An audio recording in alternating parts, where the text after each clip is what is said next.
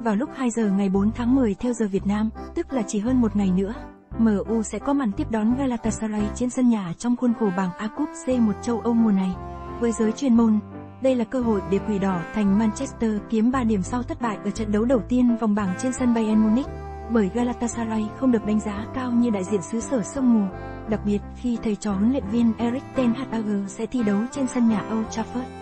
MU khởi đầu tệ nhất sau 34 năm, ảnh, Reuters, trong khi đó, với cá nhân Eric ten Hag, đây là cuộc chiến sống còn để cứu lấy chiếc ghế đang lung lay dữ dội của mình. Khi MU đang trải qua khởi đầu tệ nhất sau 34 năm kể từ thời điểm Sir Alex Ferguson gặp rất nhiều khó khăn lúc mới tới Old Trafford. Sau 7 vòng đấu đầu tiên ở ngoại hạng Anh mùa này, MU đã thua tới 4 trận, lần lượt với tỷ số 0-2 trước Tottenham Hotspur, 1, 3 trên sân Arsenal và gần nhất là hai trận thua vỡ mặt 1, 3 trước Brighton và 0, 1 trước Crystal Palace tại sân nhà. Chắc hẳn Erik ten Hag vẫn còn vang vẳng bên tai những tiếng lạc ó khi đội nhà thua trận trước Crystal Palace ngay tại nhà hát của những giấc mơ cuối tuần trước. Đây là lý do mà chiến lược gia người Hà Lan đang phải đối mặt với quá nhiều áp lực bởi thành tích bết bát của đội nhà, dù được đánh giá cao hơn hẳn so với Galatasaray.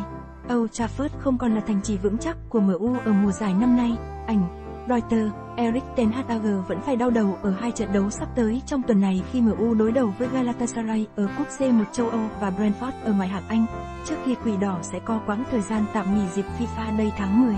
Đây chắc chắn không phải là kịch bản mong muốn của MU sau kỳ chuyển nhượng hè khá bận rộn tới ngày cuối cùng và chi hơn 180 triệu bảng để đón về Old Trafford.